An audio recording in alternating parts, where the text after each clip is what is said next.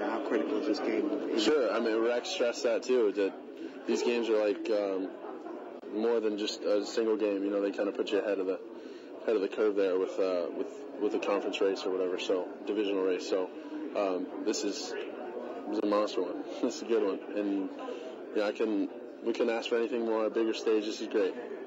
And this game can't come soon enough. So. Mark, can you can you think of anything Rex has said publicly that's either really helped you guys or really hurt you guys? Just having that open style and talking the way he does. No, I think it's you know we all feel the same way as he does, and um, that confidence he has, it's true. You know, he's not he's not blowing smoke. He's not talking for his health. He, that's really how he believes and feels, and you know we believe the same thing. So we're uh, we're thrilled that he has enough confidence in us to talk like that, and uh, that's great. Last one for TV. Something that you like playing under. I mean, you said I'm in this camp now, so you're in it. Oh, what would you prefer? If you would you prefer the Patriots style? Oh no, this is this is what I love. I, there's no secrets. You know, he tells you exactly how he feels, win, lose, or draw.